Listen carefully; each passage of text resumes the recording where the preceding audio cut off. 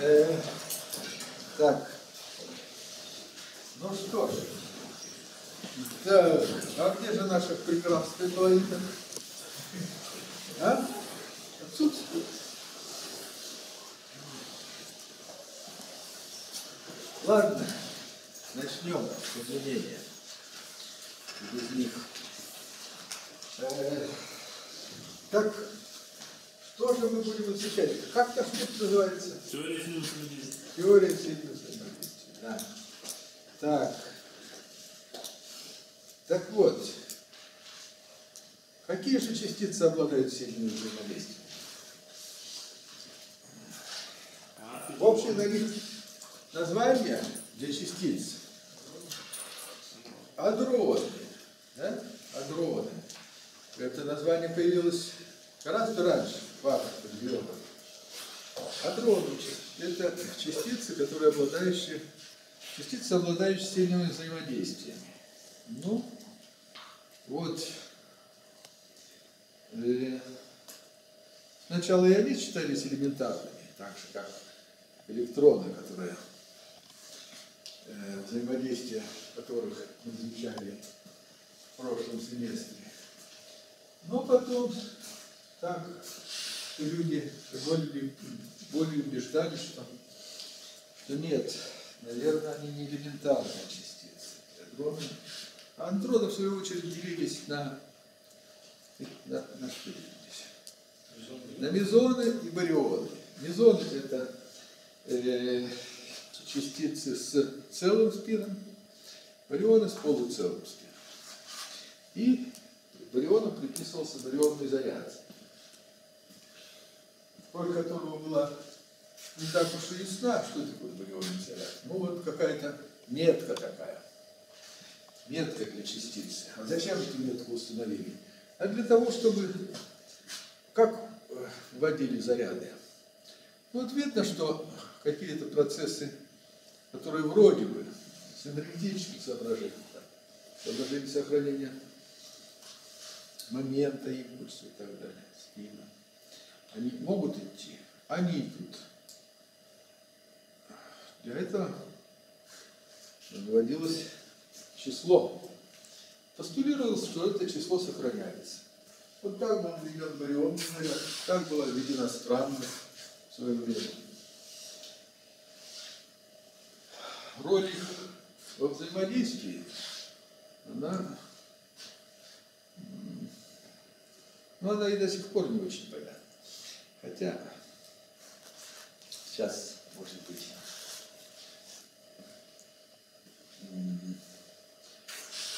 то есть вот э, важно нам, как частицы взаимодействуют между собой.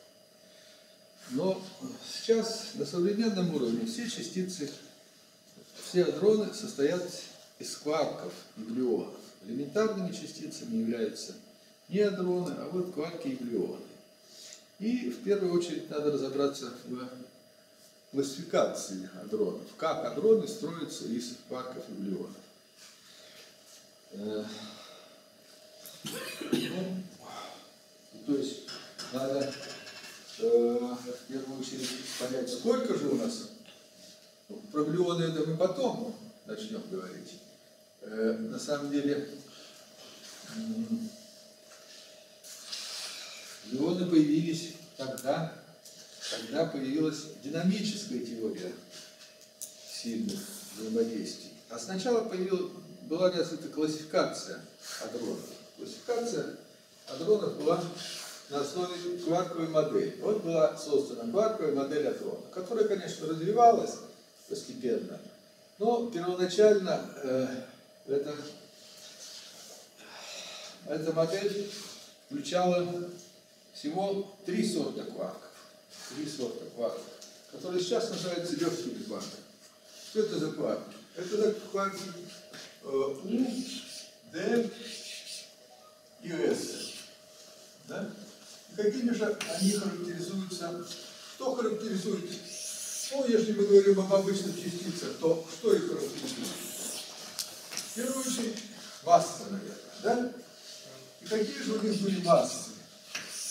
Приписывались массы.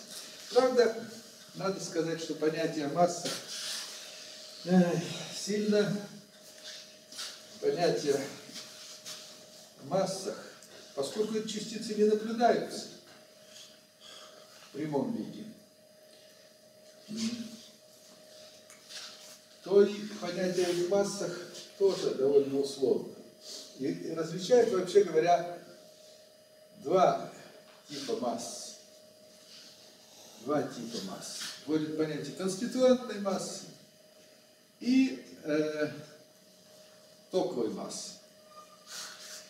Надо различать вот эти вот массы. Правда, понятием вот этой конституентной массы сейчас пользуются все меньше и меньше. Но тем не менее, и она, и она, и это понятие используется. А на, пер, на первом этапе развития кварковой модели только эта масса используется. Ну, что такое конституентная масса? Это масса, та, которую надо дать частице, вот этот кварк, чтобы как-то из этих кварков построить, э, построить адроны. Ну и понятно, что если типичная масса мезона какая?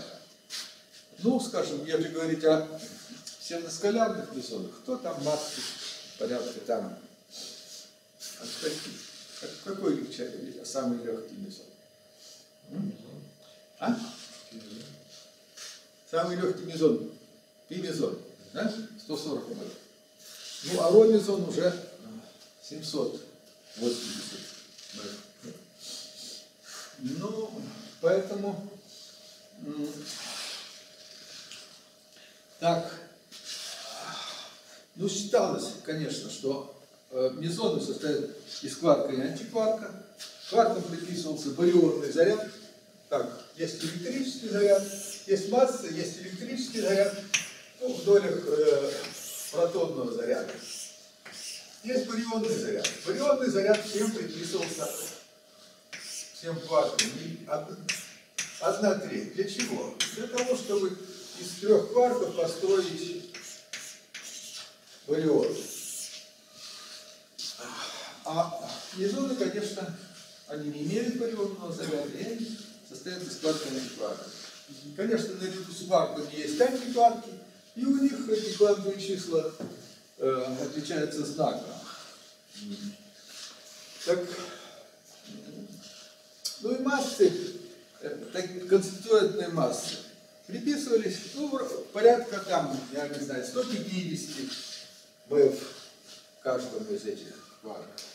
Но я повторяю, что это было значит, еще до возникновения квантовой хромодинамики, которая считается сейчас, э, в настоящее время, теорией, настоящей теорией сильных взаимодействий. И в принципе считается, что ежели, то в этой теории все можно получить. Все сильные взаимодействия описать. В принципе. А в реальности это далеко не так, потому что э, удается описать сильные взаимодействия только тогда, когда они слабыми становятся. Да? Когда можно пользоваться теорией возмущения. Когда можно пользоваться теорией возмущения? Ну, когда заряд соответствующий, вот, скажем, э, некое соответствие можно провести с, с электромагнитным, с константой электромагнитного взаимодействия, когда она маленькая константа, да? так когда можно разлагать ряд по этой константе связи.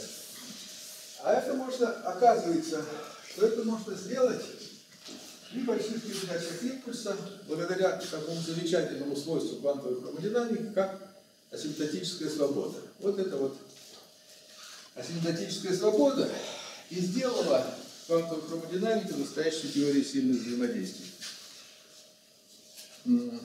Это явление противоположное тому, которое есть в квантовой электродинамике. В квантовой электродинамике мы знаем, что есть ну, заряд, что в чем он состоит?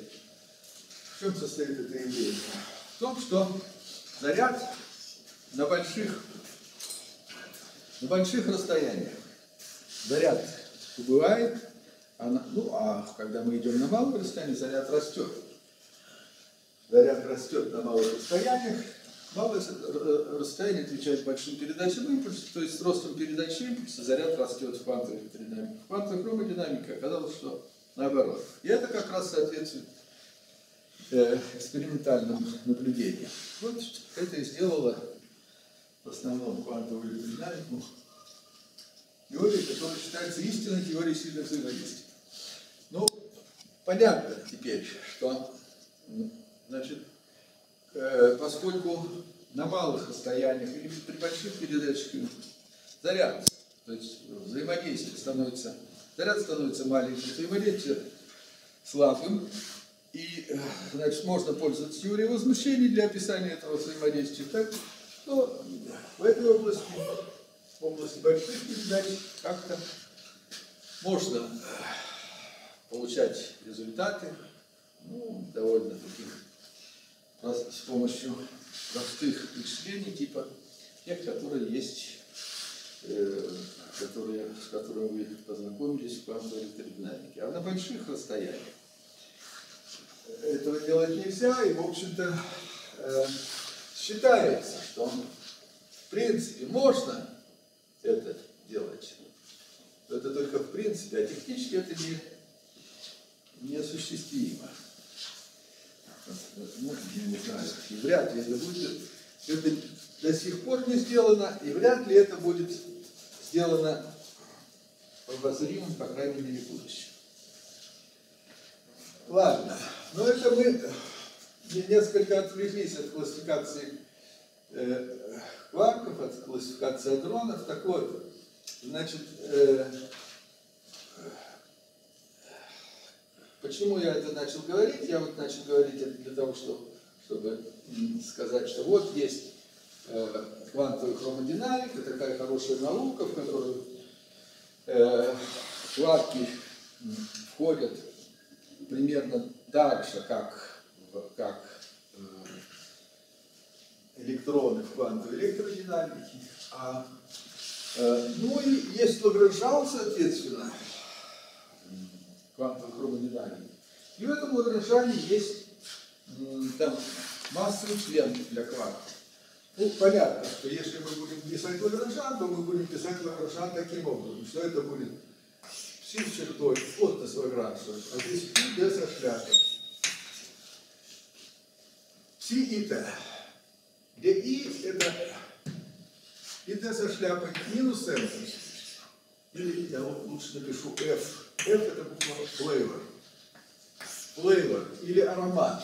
Вот эти вот э, сорта кваков, У, Д, С и так далее.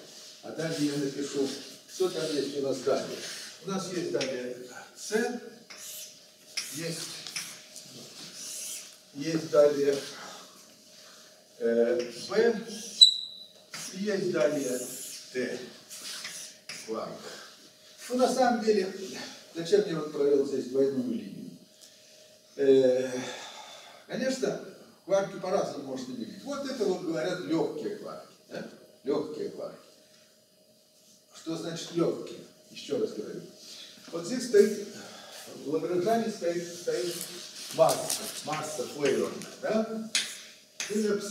Это сумма. Вот Лагранжан свободных полей, сумма поверхности написали. Когда свободных квантовых полей. Здесь стоит масса, да? Ну, правда, вы знаете, что масса, которая написана в Лагранжане, это такая э, фиктивно-дефективная масса, да? Это голая масса, которая э, голая масса, которая физически не наблюдаема, конечно, и физическая масса. А э, для того, чтобы наблюдаемой является некоторая перенормированная масса. Ну, вопрос перенормировки, опять же, связан с масштабом. На каком масштабе мы проводим перенормировку? Так же, как вот заряд у нас зависит от расстояния, так же и масса зависит от расстояния. То есть от, э, э, от того, какие взаимодействия вы включили в определение этой массы. Вот масса тоже зависит от масштаба перенормировки, на котором мы проводим перенормировку. И когда говорят сейчас о массе, вот о, о массе кварка, подразумевают, что мы проводим перенормировку на масштабе нескольких гэв. И поэтому цифры, которые здесь приводятся, ну, они так, они и варьируются, поскольку невозможно точно определить на самом деле это.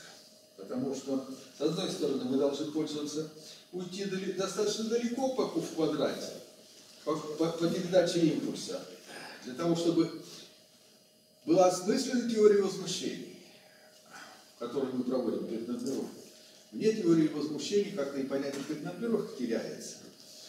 Э, одной, вот мы должны, с одной стороны, уйти достаточно э, далеко по э, передаче импульса, по масштабу, на котором мы проводим технопробы.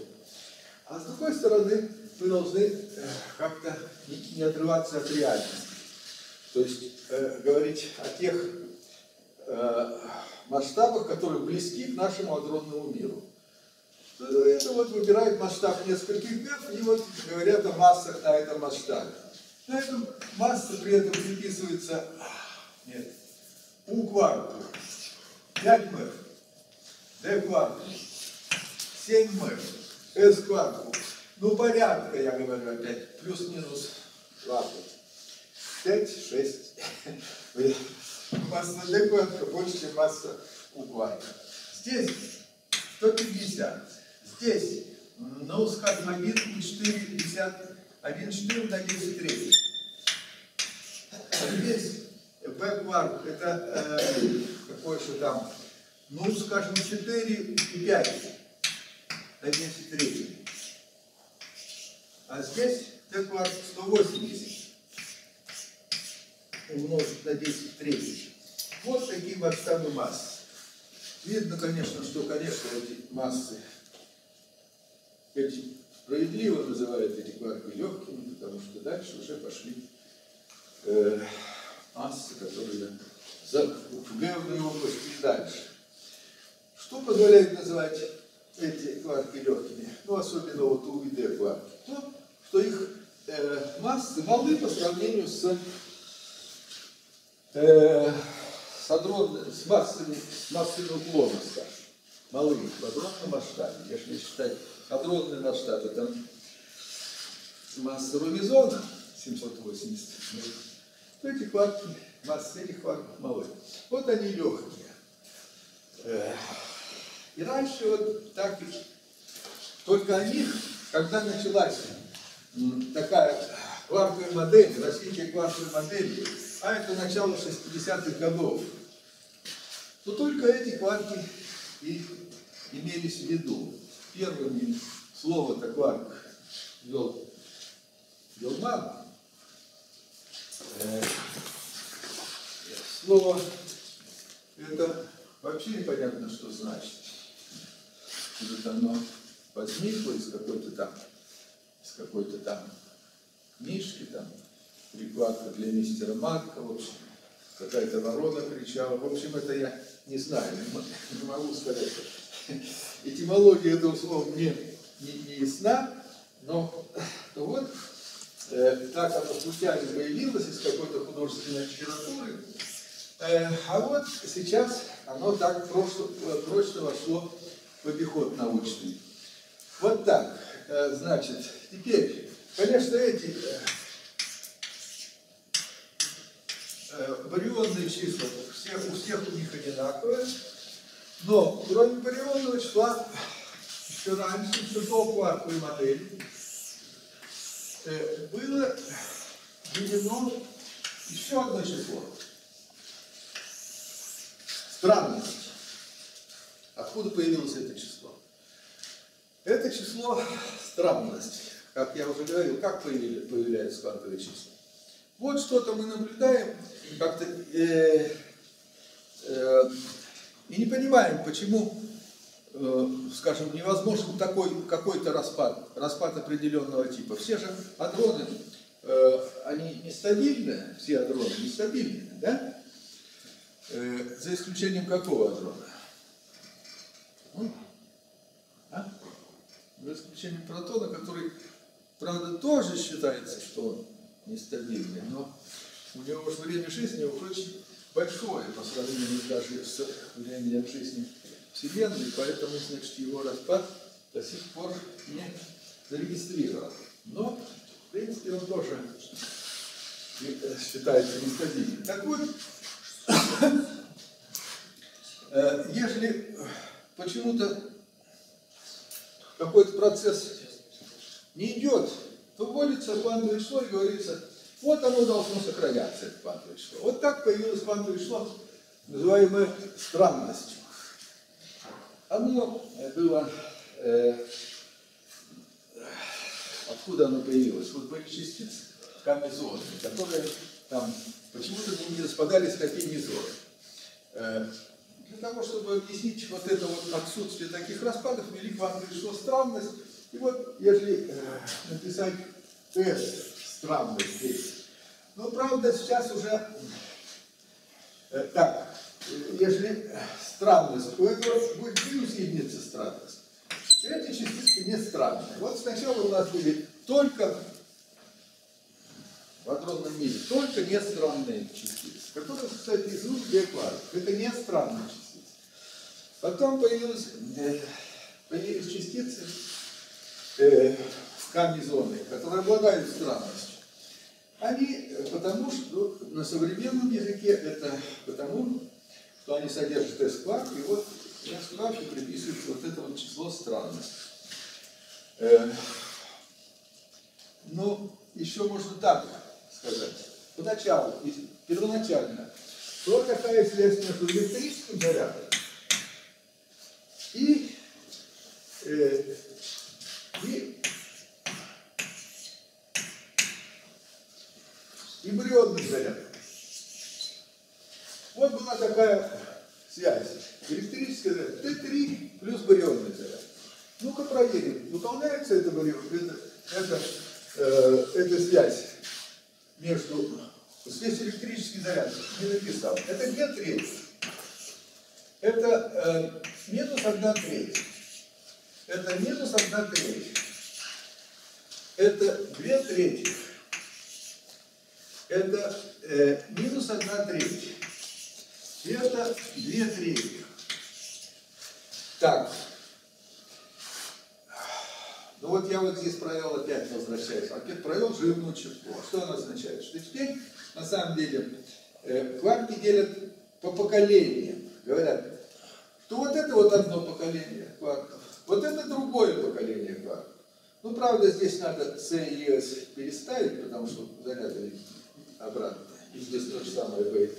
Ну, я просто расположил по массе. Вот это второе поколение кварков. И это, это, пардон, и это третье поколение кварков. Второе, третье, вот. Это второе поколение, первое, второе, третье поколение кварков.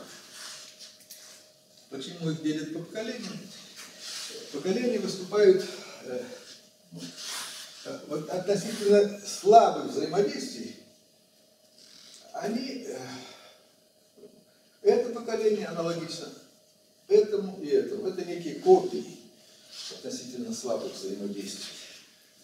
Ну, видно, что относительно зарядов тоже было здесь Ветрить минус 1 3, ветрить минус 1 3, то же самое. Значит, так. Так еще говорят, о поколениях два. Есть три поколения два. Ну, повторяю, первоначально вот у нас было только У и была вот такая формула, для них видно, что она выполняется, да? Если, а, правда, я еще не определил, что такое изоспин. Да, изоспин. Вот откуда появилось понятие изоспин? изоспин. Было замечено, что относительно сильных взаимодействий протон и нейтрон они ведут одинаково себя, одинаковыми свойствами обладают относительно сильных взаимодействий. То есть есть некая симметрия. Симметрия. Ну, э, значит, симметрия, ну как это, как, как описывается какой-то симметрия? Э, какая-то симметрия. Э, мы говорим, что квантовой механики или в теории поля, как описывается мы говорим, что есть группа преобразований, которая оставляет инвариантом Гамильтониан или Лагранжиан. Да? Группа преобразований. И что это за группа преобразований?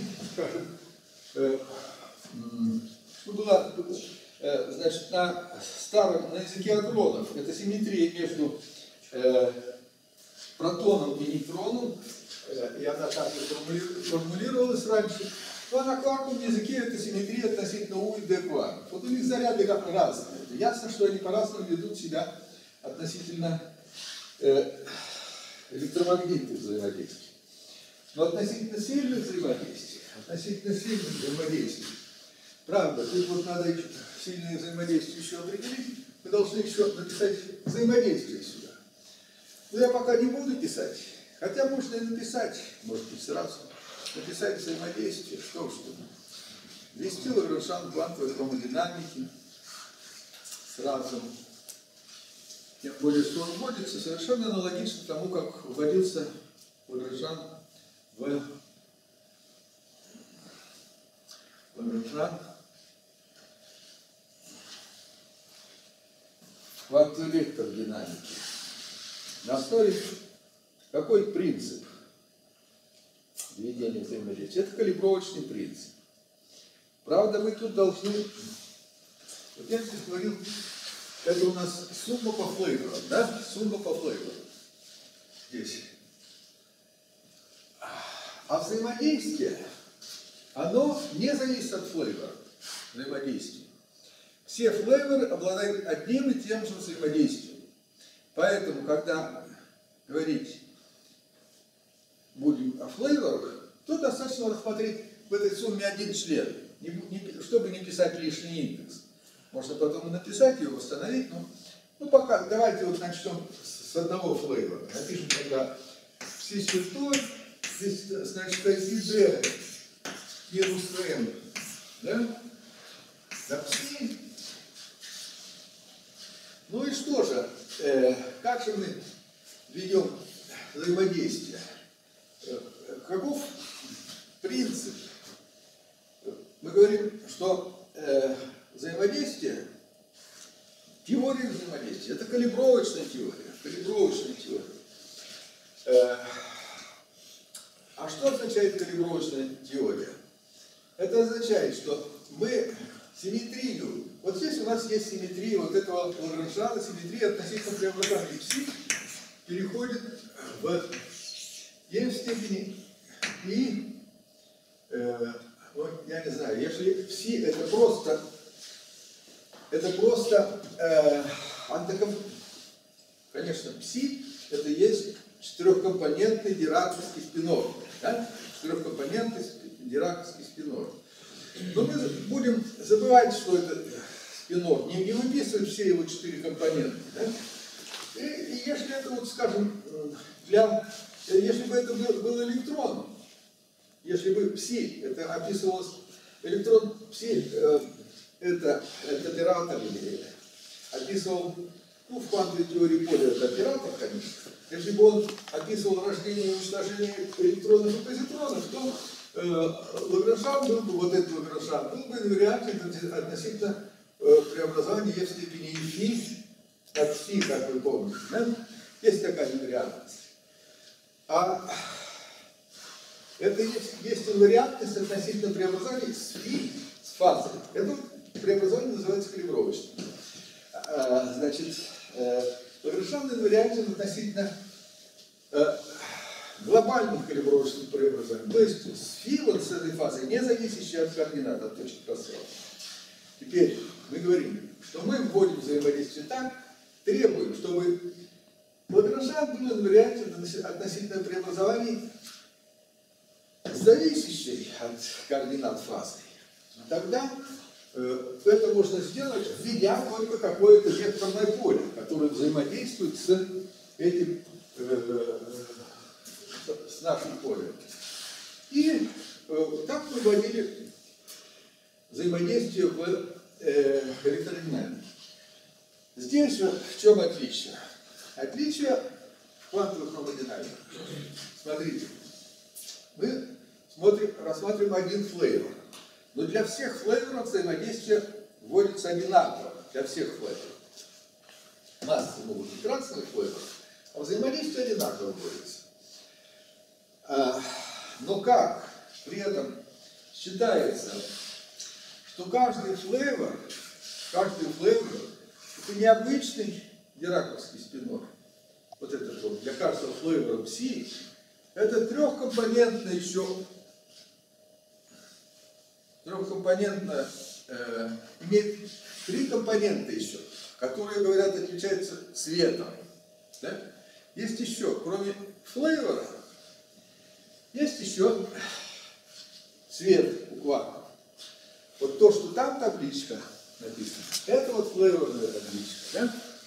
Но каждый из этих вот, каждый из кварков имеет еще три цвета. Он может находиться в трех цветовых состояниях. В трех цветовых состояниях. Да? Ну, откуда появился цвет, почему его надо было вводить, мы это поговорим, я надеюсь, что сегодня успеем поговорить об этом. А, а э, ну вот, считается, что пси – это трехкомпонентная еще величина. Я еще раз повторяю, что это четырехкомпонентная величина по Дираковскому, да? это четырехкомпонентный Дираковский спинор, но каждая компонента имеет еще три, э, э, что на самом деле это не трех, не четырехкомпонентный, а двенадцатикомпонентный спинор, да? Три, э, три три цвета у него и четыре дираковских компонента. Ну, я повторяю, что про дираковские компоненты, дираковские компоненты, конечно, вот здесь стоит гамма-матрикс, поэтому ясно, что это есть дираковский компонент. Да? Э, но я не буду выписывать там индексы дираковских компонентов, и не буду даже пока выписывать индексы вот цветовых компонентов. Ну вот это вот, все это такой вот 12 э, компонентный спинор. Да?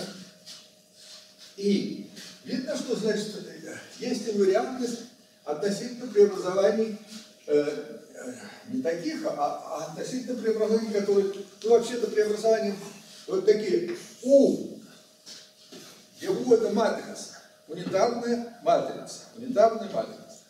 Вот относительно таких преобразований. Унитарная матрица, которая не зависит от э, то есть это такая матрица, которая не зависит от координат. Почему требуется независимость от координат? Ну, потому что, производная вот здесь стоит производная, чтобы она на нее не действовала. Понятно. И эта унитарная матрица, это единичная матрица в дираковском пространстве, но матрица в э, э, унитарная матрица в цветовом пространстве. В цветовом пространстве. Ну тогда понятно, что если здесь пси так преобразуется, то с чертой преобразуется в с чертой на У крест. Да? С чертой на У крест. Повторяю, что это здесь стоит пси с чертой, там на гамма-0 мы его умножали, но это единичная матрица в дираковском пространстве. Вот, пси, вот э, у крест У, если у крест У равно единице, а это означает унитарность матрицы, то у нас и э, Лагранжан нуля. Дальше. Ну, э, совокупность таких матриц, это, э, они образуют представление группы SU3, если это пси, трехкомпонентная матрица в цветовом пространстве, это матрица 3 на 3, это группа U3. U3. Ну, здесь есть ясно, что эта группа, она распадается на группу Э, просто У1 и группу СУ3. Э, группа У1, она, э, в общем, никакой, никакого отношения к классификации адронов и, и, и никакого отношения к взаимодействию к сильному она не, не имеет. И, значит, рассматривается вот группа SU3. Это группа унитарных, унимодулярных матриц 3 на 3. Э, значит, ну еще, правда, здесь пишется. C. Можно так писать, а можно писать C, означает цветовой, color, цветовая э, симметрия. Если Лагранжан, он обладает у нас цветовой симметрией. Э, симметрия, инвариантность относительно вот такой, относительно таких преобразований. Но пока мы говорим о глобальных преобразованиях. Теперь, теперь э, калибровочная теория требует, чтобы э, Лагранжан был инвариантен относительно э, локальных преобразований. Локальных преобразований. Так вот, мы будем говорить, что вот эти вот, это матрицы, это унитарные, унимодулярные матрицы, которые отвечают представлению оси 3 цветовому. И мы потребуем, чтобы у нас был Лагранжан вариант. Для этого нам надо, как вы помните, удлинить производную. Удлинить производную. Ввести еще векторное поле какое Мы должны вместо этого D на написать D большое. А D большое написать, ну, написать D большое. D большое. Вот что шляпа здесь означает, что означает здесь шляпа? Это есть, ладно, D за шляпы, это есть по определению D ню, гамма ню, гамма ню это ираковские матрицы. Теперь, э, что такое теперь, э, как мы должны определить D ню оператор, чтобы вот этот вот э, Лагранжан стал, был инвариантен относительно э, глобальных преобразований, то есть у зависящих от времени.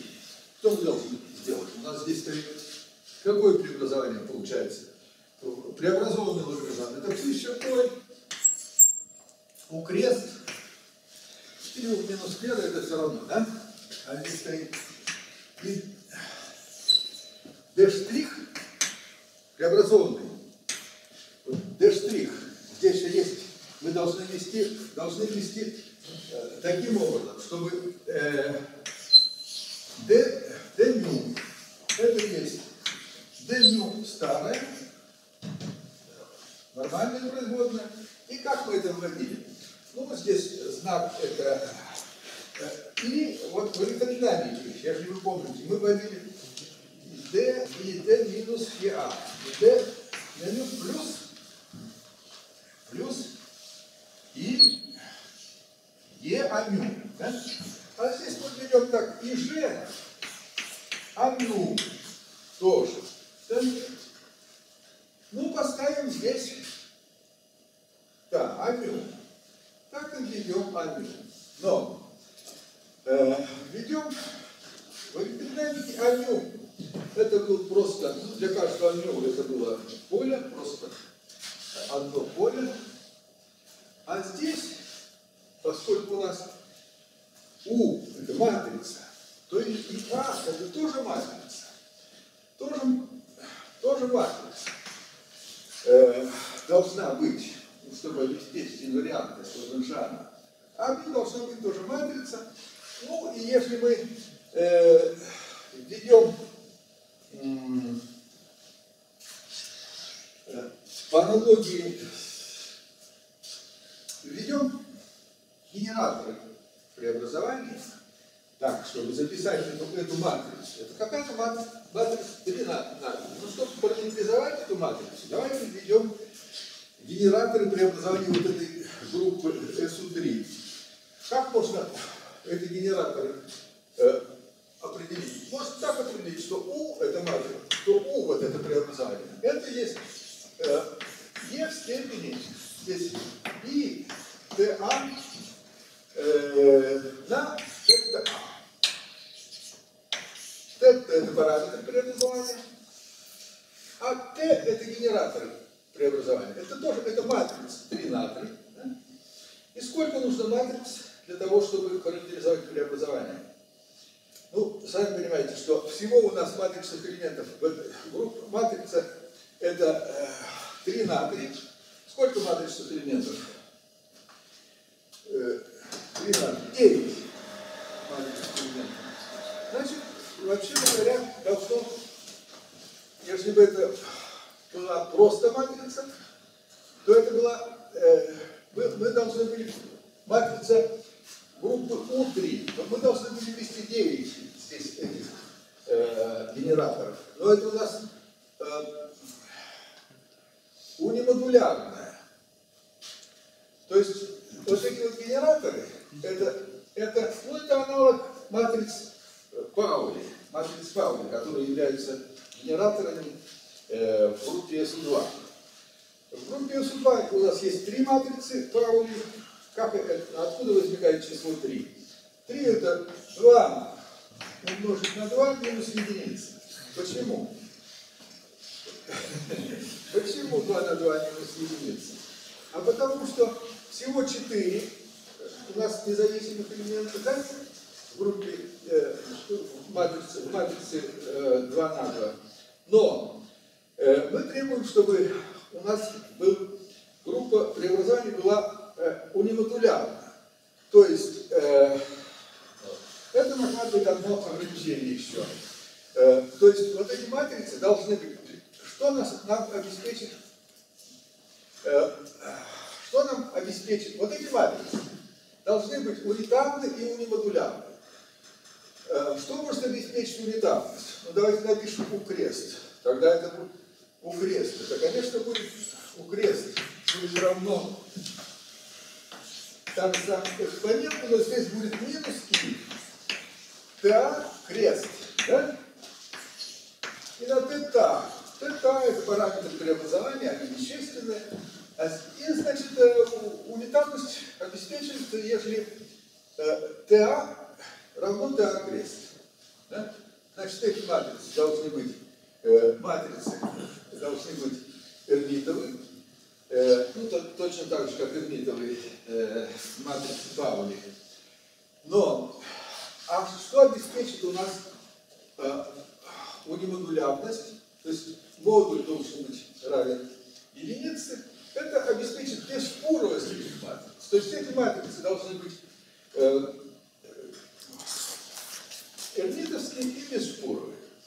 Ну вот это, эти ограничения, бесспоровость, это и есть та вот минус единица, о которой я говорил. То есть всего матриц, это будет, ну, если мы говорим в группе SUN, то это матрица n квадрат минус 1. Число генераторов преобразования, это группы SUN-C. Часто вместо группы SU3C пишут вот так, в общем виде пишут, вместо трех пишут n, и тогда это э, число генераторов, это есть nc в квадрате, nc число цветов, минус 1. Вот в данном, э, если мы говорим о группе SU3, цветовой тег, значит 8 генераторов круга. И, э, значит, вот 8 генераторов круга. И вот это вот амю, можно разложить эту матрицу. Можно разложить, э, можно разложить по этим матрицам TH. Ну, в качестве, э, что касается значит, явного выбора этих матриц, ну, выбирать можно по-разному. Вы же понимаете, что это выбор матрицы зависит выбор вот этих вот матриц Пауэлла. Он зависит от, от представления, э, от выбора базиса. И поэтому он неоднозначен, но что э, требуется для этих генераторов, это выполнение функционных соотношений. Что э, функционное соотношение, значит, в группе э, SU2. В группе SU2 у нас для SU2 я написал, для SU2. Что такое TA? Это есть э, тау А пополам. Вот такая принята нормировка. Вы понимаете, что нормировка, конечно, это тоже нормировка. Это тоже дело условное. Вот мы могли бы здесь написать не ТА, по-другому переопределить параметры преобразования, и изменилась бы нормировка. Это условное дело. Но э, Но здесь можно так, для группы SU2, вот матрица второго пополам, это как раз, что такое? Это операторы спина, да? Операторы проекции спина. Ну вот такая выбирается нумеровка для этих генераторов. Ну, они совпадали с операторами проекции спина, а это для группы SU2. А для группы SU3, ну я не знаю, можно назвать гиперспин или что, что угодно, хотите, как угодно. При этом коммутационные соотношения для этих матриц выполняются КАТВ, КАТВ, коммутационные соотношения, коммутатор, равно И, F, А, Б, С, Т, С. Вот эти вот коммутационные соотношения характеризуют группу. Э, для F, А, Б, С это некий тензор, абсолютно антисимметричный, ну, то есть антисимметрия его по индексам А и Б, она очевидна, но он э, абсолютно антисимметричный тенсор, абсолютно антисимметричный тенсор. И это легко доказать. Качестве упражнения вы можете это использовать. Да. Так вот, это абсолютно антисимметричный тенсор, и э, для группы SU2, поскольку здесь индексы а, Б, С пробегает только значение от 1 до 3, он абсолютно, он фиксирован однозначно. Это эпсилон. А, Б, С. Эпсилон абсолютно, ну, тензор, который, как ее называется? Девичный Да. Ну, вот так этот тензор. Для, для группы СУ3, да? Можно вопрос? Да. Вот А, Б, С, они пробегают значение от 1 до 8? От одного до... Да, это вот. Да, это квадрат минус 1. Понятно. Да, да, c квадрат минус 1. Вот это, э, значит, э, для группы SU3, SU2, я говорю, это просто эпсилон, однозначно фиксирован. Для группы SU3 это, в общем, выбор этого f, опять же, он, э, он неоднозначен. Да и нас не будут интересовать эти э, явный вид вот этих f, он нам не, понадобится, насколько я помню. Надо только знать, что это абсолютно антисимметричный тензор. И, и все. И еще можно его свойства знать. Свойства знать. Вы в качестве упражнения можете вывести такое свойство, что f, а, b, а ежи, написано ежи, а f, b, b ежи, вот свертка, это, это ежи, нравится, вот такое есть свойство. Ну-ка давайте проверим для эпсилон. Что это будет для эпсилон? Это фу, то, что я написал. И вы смотрите на меня. Так. Что, что это будет для эпсилон? Да? Выполняется это для эпсилон? А? Ну, когда x положим двойки, да? то тогда это выполняется. Эпсилон А и G, эпсилон B и G, это 2 дельта B. Да? Вот так. Э, ну, а в общем виде можете это доказать. Так вот, э, теперь, теперь, вот эта матрица, эта матрица, эта матрица амю. Как же она пишется у нас матрица амю? А матрица амю пишется так, что это есть амю А, амю А, о, на Амю. В отличие от электродинамики, где это было только э, одно число для каждой компоненты вектор, э, для каждой компоненты мю. Это одно число было, теперь это не, не одно, а набор чисел. С индексом А. И опять же, сколько индекса А значений пробегает? 8. Да? 8. То есть мы вместо одного э, электромагнитного поля 8, 8, вводим 8 глюонных полей. Это глюонные поля. Амю. Амю А. Глюонные поля.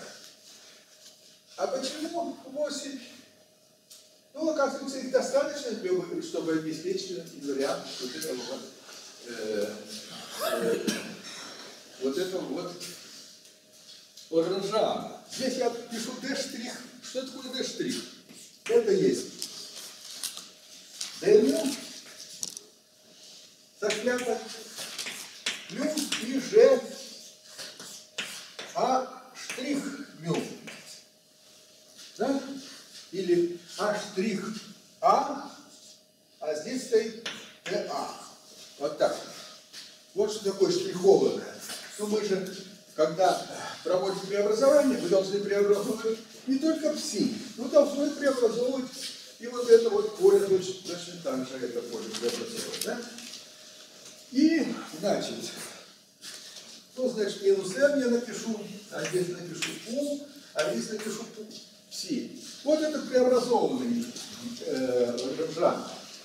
И что же нам обеспечит его инвариантность Лагранжана? Понятно, что член массовый, он, конечно, будет инвариантен, а нам нужно, чтобы, значит, было укрест, укрест и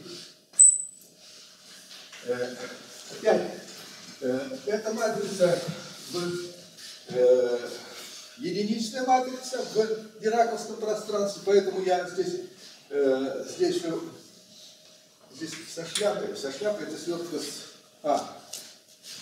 Тест не надо. Я так напишу, вот так, что это такое? Это на гамма мю умножено, да?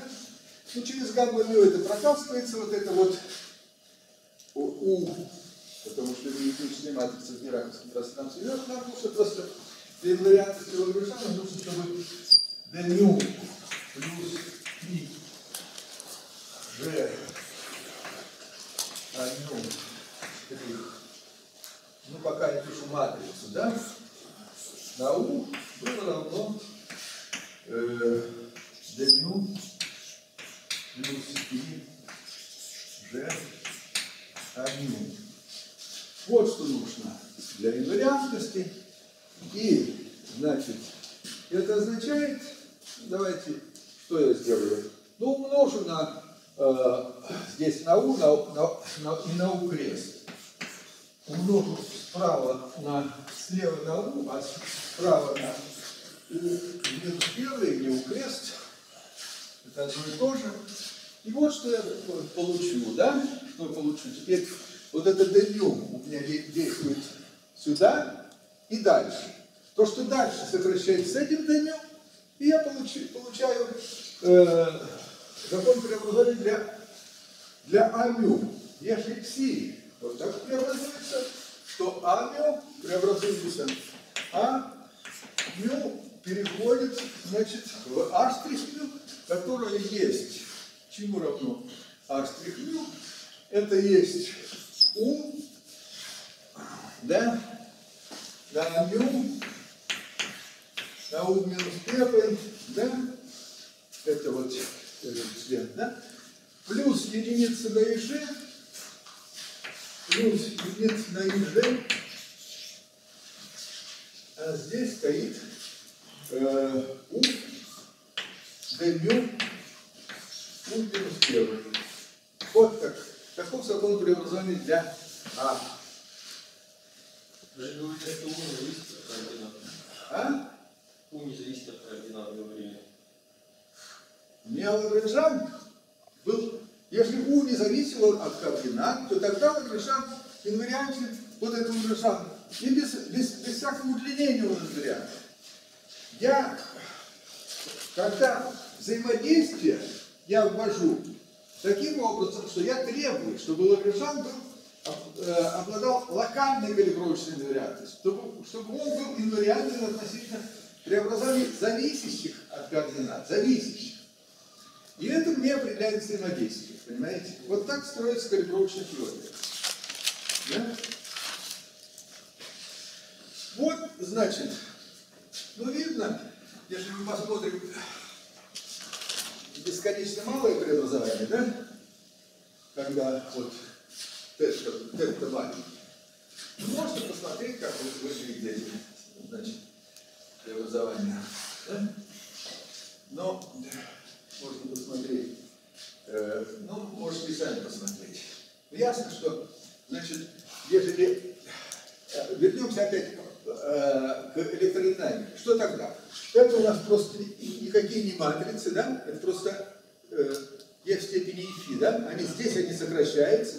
Здесь мы получаем а мю переходит к а мю плюс вот это вот удлинение производной. да? Удлинение производной. Ну, видны- ну, обычное калибровочное преобразование для поля. Здесь стоит амин переходит в амин плюс э, градиент фи. Да? Ну, да и не фи, потому что у минус первый, если у, у равно просто е в степени и фи, то тогда у минус первой е в степени минус и фи.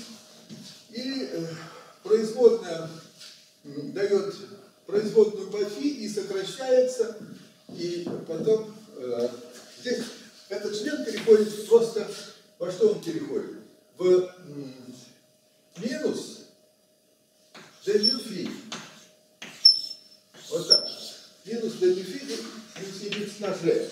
И это сокращается, а g остается. Ну, это обычное калибровочное преобразование для электромагнитного поля. Если у нас U просто матрица, не- не матрица, а э, ну, матрица 1 на 1. Да? Число это матрица 1 на 1. правильно? Ну вот. А у нас матрица э, 3 на 3, поэтому так в общем виде невозможно записать вот этот вот э, эту производную. Только бесконечно малых преобразованиях можно написать. Но я не хочу этого делать, сами можете написать. Вот факт тот, что вот у нас таким образом вводится взаимодействие. Вот что такое D. Значит, вот оно D. Вот оно А, ввели э, 8 полей глюонных. И тогда у нас Лагранжан, э, Лагранжан инвариантен относительно преобразований, совокупности вот таких преобразований. Ну, кроме этого, кроме этого у нас Лагранжан э, квантового поля, взаимодействующего с глюонным, а мы должны ввести еще и Лагранжан глюонного поля, да? Лагранжан глюонного поля. Ну, как вводится Лагранжан глюонного поля? Нам нужно ввести, опять же его нужно, нужно ввести так, чтобы он был инвариантен относительно. Ведь поле А у нас преобразуется теперь, да?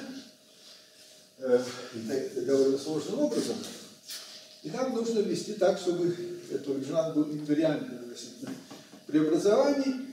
Э, Надо, это делается точно так же, как в электродинамике, опять же. Вы должны, сами это поля, вот они сложно преобразуются, сами поля, а мы должны перейти к напряженностям полей, напряженностям полей, построить напряженности полей, которые в, э, в электродинамике это просто было d мю а мю минус d мю а мю, да?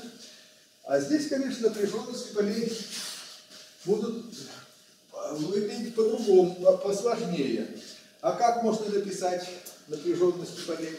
Напряженности полей можно написать вот, используя то, что d мюта преобразуется просто, да? Мы же видели, что как преобразуется d мю. Вот у нас, это же у нас, вот я написал d штрих мю. d. Вот оно всему равно. А это равно, это равно u на на u минус первый. Вот как преобразуется удлиненная производная. Это, я написал то, что здесь было написано. И точно так же, как в электродинамике, мы можем построить поле, ну я назову теперь Женелю, которое я так назову, что это единица делить на ежи, а здесь дню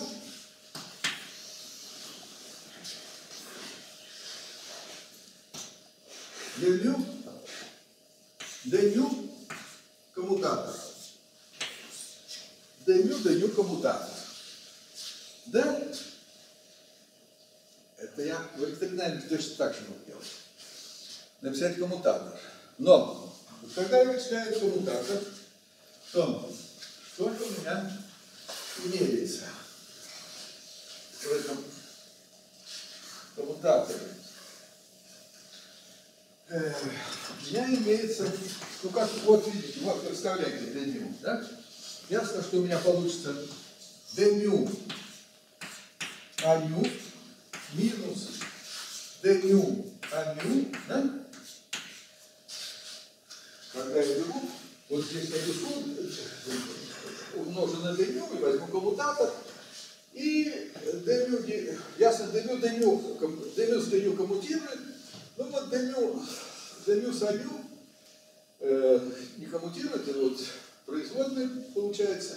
Но есть еще, в отличие от электродинамики, здесь есть еще член, потому что А матрица. А матрица. И это член плюс и же, а здесь стоит амю, амю коммутатор. Вот это вот основное отличие. Вот это основное отличие. Женю. Как выражается женю? Через, то есть э, напряженность полей, как выражается через поля. Этот член полностью аналогичен квантовой электrodинамике. А вот это новый член, который, что он показывает? Он показывает, что глюоны сами по себе обладают зарядом, да? И взаимодействием. Это же член взаимодействия уже глюонов друг с другом. Правильно? Видно, ну и понятно, ясно, что глюоны обладают зарядом. Из-за того, что это не теория. Вот у них из-за этого есть заряд, потому что они обладают тоже взаимодействием, которое вот есть сильный источник сильного взаимодействия адронов. Так считается. Э, Это все можно расписать через, через э, опять же, это же матрица, это матрица, да? И она тоже разлагается по матрицам, матрицам ТА. Давайте воспользуемся, мы знаем, что как вот амю матрица, как выражается, как пишется разложение через ТА. А вот это вот коммутатор, мы можем воспользоваться э, этой формулой для коммутатора и написать, уже перейти от матриц к компонентам глюонного поля. И видим, что компоненты глюонного поля d μ А, это есть d минус а минус а минус d минус а минус а и плюс плюс минус да?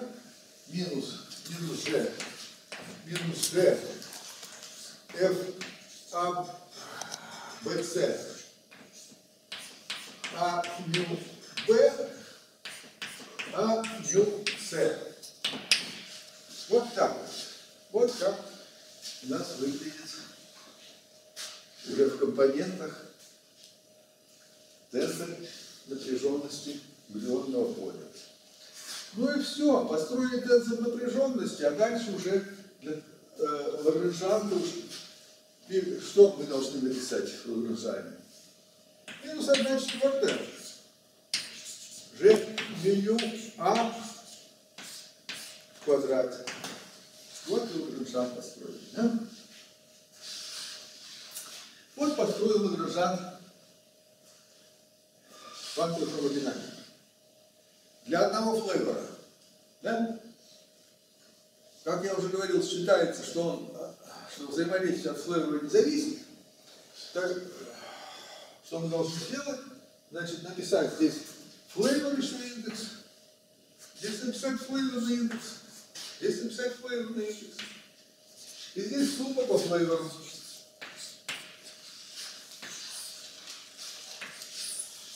А этот член от флейвора не зависит совершенно. Вот это полный лагранжан квантовой хромодинамики. Да. Все. Видим, что значит, у нас взаимодействие квантовой хромодинамики не зависит от флейворов. И все, что нарушает флейворную симметрию, это массы просто. Ну, конечно, кроме этого взаимодействия, есть еще электромагнитное взаимодействие, которое, конечно, тоже нарушает флейворную симметрию, потому что зарядка вот здесь есть. э, электромагнитный заряд равен. Мы сейчас рассматриваем. Но кроме того, есть еще слабое взаимодействие, которое еще сильнее нарушает флейворную симметрию. Да? Ну, мы сейчас рассматриваем теорию сильного взаимодействия. Надо не забывать, конечно, есть еще, кроме этого сильного, есть слабое э, электромагнитное, слабое. Но пока вот написано, рассматриваем теорию взаимодействия, вот у нас Лагранжа. Можно А вот G меню А в квадрате, это подразумеваете, что по А тоже суммирование идет? А, а как? же? Понятно. А как? же? Ну а как же? Лагранжан, Лагранжан должен быть скаляром. Да? Ну да. Скаляром должен. Ну а что ж тогда? А куда же индекса спрячешь? Если А индекса Не, ну просто вы вначале вводили G меню без всякого индекса А. без всякого индекса, потому что это матрица. Ну да. Я вводил без всякого индекса, точно, вот я аню вводил без всякого индекса, вот так, да? Да. Это матрица, которая вот так вот написана. Но можно написать это так, что, вы же понимаете, что э, вот такая нормировка, да? Нормировка.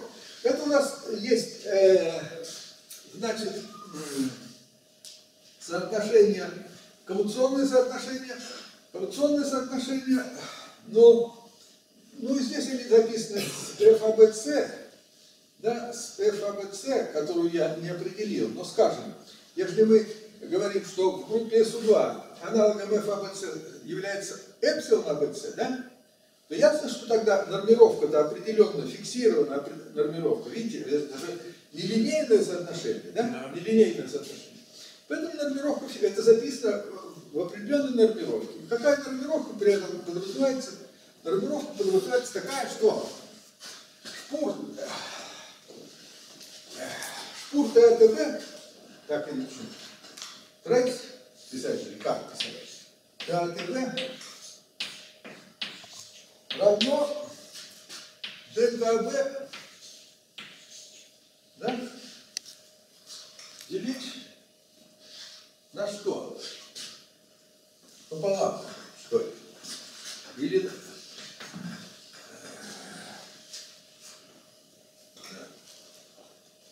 да. дельта В пополам, да. Такая формулировка подразумевается. Да, вот так. Э, вот так. Ну и поэтому я вот этот член, вот этот член, я могу переписать по-другому, по-другому переписать через матрицу, да? Могу переписать так, что это есть минус одна вторая, трейс, G меню на G меню. Правильно? Ну. А? Потому что трейс да- даст мне еще одну вторую. Понятно. Да. Вот Лагранжан платы хромодинамики. Повторяю, что он не зависит у нас от э, взаимодействия, не зависит от флейверов. И то, что нарушает симметрию флейверную, это вот только масса.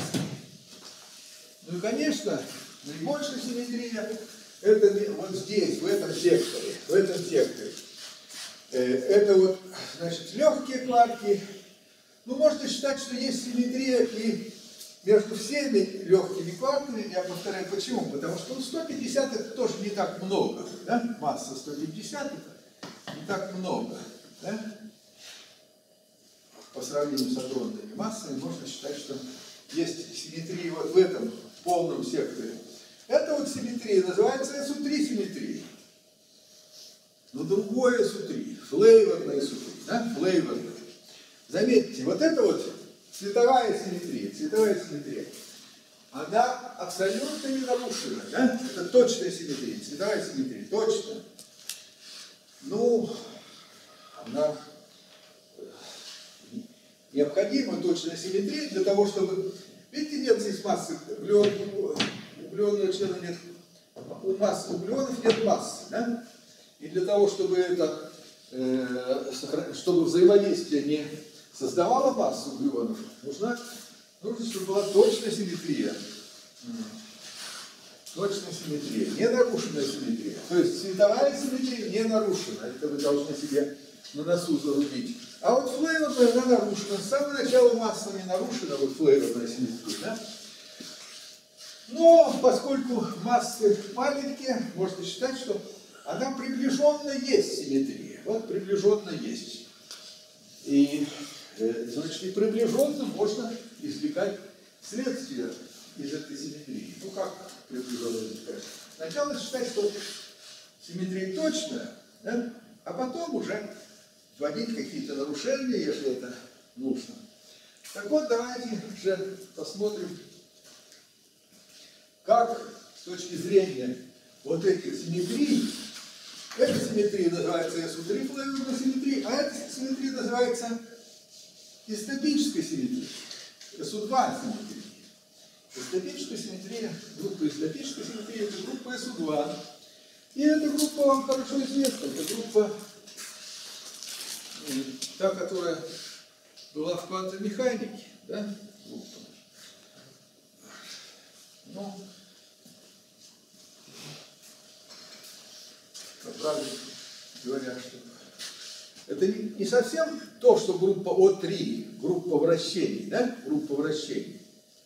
А СУ2, как вы, наверное, вам по теории групп говорили, наверное, что группа СУ2, она не совсем э, эквивалентна группе О3.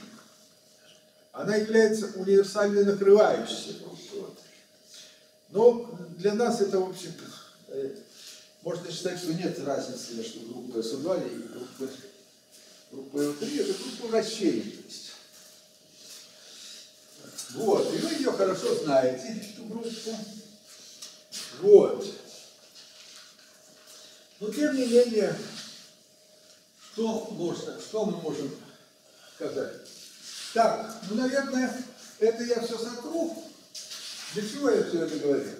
Для того, чтобы вам э, э, показать, чтобы не быть таким голословным, что вот э, сильное взаимодействие, э, вернее, э, симметрия, флейворная симметрия нарушается только массами. Вот я, явно я написал весь Лагранжан, это весь, весь Лагранжан квантовой хромодинамики, и видно, что если массы одинаковые, то флейворная симметрия абсолютно есть. Но флейворная симметрия, конечно, здесь мы говорим еще одно э, существенное, э, одна, одна существенная вещь, когда мы говорим о вот группе SU3 следовой, то мы говорим о группе преобразований в э, зависящих, о группе локальных преобразований, в локальных преобразований. Вот у нас эти вот темпы, они могут меняться от точки к точке. А когда мы говорим о флейворной симметрии, мы говорим только о глобальных преобразованиях. Ну, для того, чтобы сделать, э, видите, для того, чтобы сделать лагранжанный вариант относительно локальных преобразований, нам потребовалось вводить поля новые. Для флайерной группы, группы ничего такого нет, ни о каких полях речи уже нет в новых полях, это тут нам понадобилось какие-то еще поля вводить, другие, э, соответствующие уже флайерной группе. Ничего подобного и в помине нет, а в левелной группе рассматривается только глобальное преобразование, то есть не зависящее от э, точек пространства, времени. Вот. И э, дальше, как же нам э, надо как-то разобраться с представлениями группы СУ2, э, группы и флеверной группы СУ3. Флеверной группы СУ3. Значит, э, дальше мы будем говорить только о флеверной группе, о флеверных группах СУ2 и СУ3. Э, поэтому я этот Лагранжан этот стираю.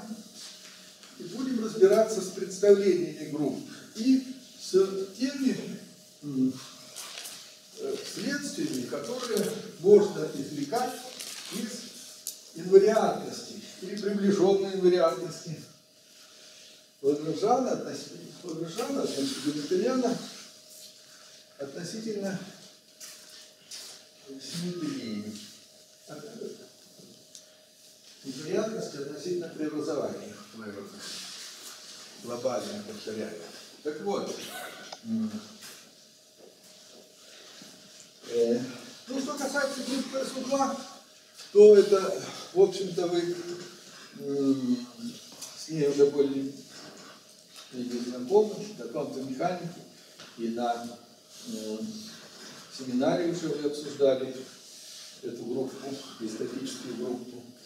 Ну, Другое дело, что она называется истопическая, и вместо матриц сигма, которые использовались, сигма-матрицы, да, которые использовались в квантовой механике для спина, да, здесь говорится о матрицах тау, которые просто равны этим матрицам. Да? Только другой буквой обозначаются, потому что они ну, исторически так сложилось, потому что они, ну, считается, что матрица сигма действует в пространстве спинов, обычных спинов. А эти матрицы действуют в пространстве истопических спинов. Но это матрицы те же самые, в той же форме. То есть тау, тау 3, это есть э, тау 3. Ну ладно, 3. Это есть. Какая матрица тау 3? Ну, 1 минус 1 плюс 0, да? Тау 2. Это есть. Какая матрица? 0 минус и... Ноль. Ну, и Тау. Один. Есть. Ноль, один, один, ноль, да? Матрицы унитарные и унимодулярные. Вот эти матрицы, конечно, вы знаете прекрасно. Преобразование группы пишутся как, как э, У. Вот я использую ту же букву У. Да? Ну, ну, что мне делать? Буквов мало, а понятий много. Так они пишутся как две степени И. Э, ТА. ТА. ТА в той же форме я напишу, но только Т теперь, если я говорю о группе СУ2, э, о спиновой группе, а а из-за спиновой группы, то Т пробегает значение от 1 до 3, а ТА, ТА, ТА равно того пополам. Ну, такая принята нормировка. Вообще, это, конечно, вопрос соглашения. Ну, давайте вот так, уж со мной согласитесь, что вот давайте в такой нормировке работать. Вот. Это группа преобразований.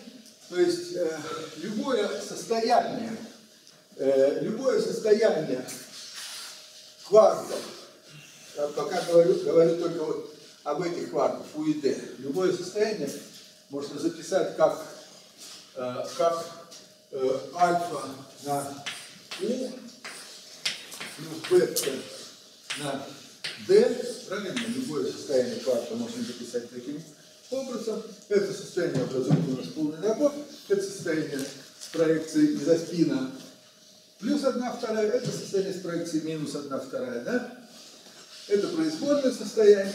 Значит, э, если я беру э, альфа, бета, я обозначу, ну, я лучше обозначу а, таким фи, я так напишу, так лучше перепишу я таким образом. Это есть фи а, тита на q тита. И Q1 это есть U, Q2 это есть D, это квантовое состояние, э, квантовое состояние, собственное состояние оператора Т3, Тау-3. А, а фи, это, фи1 это альфа, фи, фи2 это бета.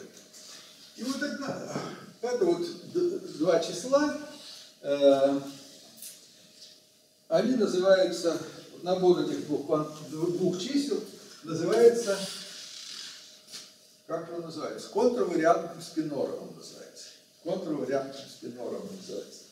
И преобразуется он так, что фи, э, фи, ну лучше писать, альфа лучше писать можно. Почему я это написал? Почему я говорю ИТ лучше, чем альфа? Ну, потому что вот эти, эти э, буквы, э, это буквы греческого алфавита, а те латинского, да? Буквы латинского алфавита, они используются для обозначения векторов. Да? Вот, например, я писал А, Ю, А. Да? Это... А буквы греческого для спиннеров, ну так договорились, что ли. Это, в общем-то, более-менее обычно. Так вот, фи альфа преобразуется в фи штрих альфа, который есть у альфа бета на фи бета. Да? Где у вот это такая матрица. Вот это закон преобразования э, контравариантных спинов. Понятно, что э, у нас кроме контравариантных, но у нас же есть, кроме квантовых состояний, преобразуют, есть еще антиквантовые состояния. Да? Мы тоже должны как-то с ними научиться оперировать, с антиквантовыми состояниями. Так вот, э, антиквантовые, то есть мы можем ввести для антиквантов. Для антиквантов мы можем ввести, значит, для антиквантов любое состояние можно характеризовать таким, так написать, как фи альфа с нижним индексом. А здесь с нижним индексом значение э, э, нижнего индекса я скажу, а здесь написать ку, ку чертой. Антикварк. Здесь, ну, антикварк это ку с чертой 1, ку с чертой 1 это ку с чертой, ку с чертой 2 это d с чертой. Да? И вот это любое состояние антикварка. Так а, вообще, э, поскольку антикварк, ну, вот в теории поля мы вводим э, пси, если вводим оператор пси, то этот оператор пси, он содержит, что он содержит, оператор пси? Он содержит А, оператор уничтожения для кварка, и оператор рождения для антикварка. Да? То есть оператор А, то есть оператор, ну скажем, будем говорить об операторе уничтожения. Он входит, для кварка он входит в пси, а для антикварка он входит в пси с чертой. Да? Поэтому э, кварк и антикварк преобразуются, ясно, что пси, если преобразуются с помощью э, матрицы У, то пси с чертой преобразуется с, матрицей, с помощью матрицы крест. С помощью сопряженной матрицы. Поэтому вот эти вот э, фи альфа, они преобразуют, закон преобразования для них будет другой. Это будет закон преобразования с помощью сопряженной матрицы. Да? И поэтому эти, эти матрицы, то есть закон преобразования у них другой, и поэтому называются они э, спинорами ковариантных спиноров. Вот есть у нас ковариантный спинор и контравариантный спинор. Это вообще разные спиноры, но в группе у них разный закон преобразования. Но на самом деле в группе, в группе СУ2 можно свести один вид спиноров к другому. Почему это можно сделать? В группе СУ2, заметьте. Для группы СУ3 это будет уже неправильно. Почему это можно сделать для группы СУ2? Для группы СУ2 это можно сделать потому что, ну, можно по-разному говорить. Вот у нас есть матрица, скажем, У, да? У матрица. А есть матрица У крест, которая есть, есть в степени минус И ТА, ТК. Ну, чем они отличаются? Только вот эти статусы, потому что эти, эти Т, они эрмитовские матрицы. Да? Проводим операцию эрмитовского сопряжения. Здесь так меняется, а Т крест равно Т. Это вот такой укрест. И если, если фи преобразуется с помощью матрицы У, то вот фи, контравариантная. Преобразуется с помощью матрицы У, то ковариантная с помощью матрицы У крест. Но эти матрицы может, можно перейти к другому базису, и эта матрица совпадет с этой матрицей. То есть может здесь такое преобразование, что вот такое преобразование, что Тау-2 на У крест на Тау-2, да? это есть У. Есть такое преобразование. Вот в группе, для группы СУ2 есть такая матрица, которая вот так позволяет э, одно, один закон преобразования переписать, свести к другому закону преобразования. Или один вид спиноров к другому виду спиноров. Контравариантный, ковариантный, и наоборот. Это очевидно? Замечательно. Замечательно. Значит, ну это, это очевидно, потому что матрица Тау-2, она характеризует такими, характеризуется такими свойствами, что Тау-2, Тау-Ита на Тау-2 это есть минус, что такое? Минус Тау-Ита, да? Сопряженная. Минус. Тау-Ита. А? Сопряженная. это Или- с минусом. А? С минусом. Так и есть минус. Тау. Правильно. нормально. Правильно. А что такое? Правильно? С. Конечно, с. Да. Или можно, можно это по-другому, на другом языке изложить. Можно изложить на другом языке. В группе СУ2 есть, э, есть м, два инвариантных тенсора. Да? Группе СУ2 есть два инвариантных тенсора. Это, вообще говоря, в любой группе есть два инвариантных тенсора. Один тенсор инвариант, один тенсор, это дельта АБ. Да? Дельта АБ, вот тенсор. Он инвариантен. э, он инвариантен, ну потому что да давайте сделаем преобразование. Значит, верхний индекс у нас преобразуется через вот, вот по такому закону, а, значит, это есть э, при- после преобразования этот, этот тенсор переходит у э, а, а, альфа-бета. Альфа-бета. У, аль, у альфа, альфа-штрих, э, у э, крест э, э, бета, бета-штрих, да? И бета э, альфа-штрих, бета-штрих, да? Вот я написал. Это закон преобразования верхнего индекса, это закон преобразования нижнего индекса, да? Написал, теперь дельта альфа штрих, бета штрих, я должен написать вот здесь альфа, альфа штрих, и здесь альфа штрих, да? И что это такое? Это произведение матриц у крест на У, да? Это унитар, э, у крест на У, это унитарная матрица, только есть дельта альфа. То есть это инвариантный тенсор. Инвариантность его обеспечивается, инвариантность его обеспечивается унитарностью матрицы У. А есть еще второй тенсор, тоже инвариантен. инвариантный. Это эпсилон альфа бета. Эпсилон альфа бета тоже инвариантный тенсор. Инвариантность обеспечивается унимодулярностью У. Унимодулярностью У. Да? Почему? Ну, давайте посмотрим, почему, а что он переходит. Ну, скажем, напишем его верхний индекс альфа-бета. Он переходит в, э, в у альфа, альфа-штрих, у э, бета, бета-штрих, эпсилон альфа-штрих, бета-штрих. Да? Что это такое? Это есть эпсилон альфа-бета, как вы знаете, значит, терминант У. Да, Слышали, нет? конечно. Вот такой это.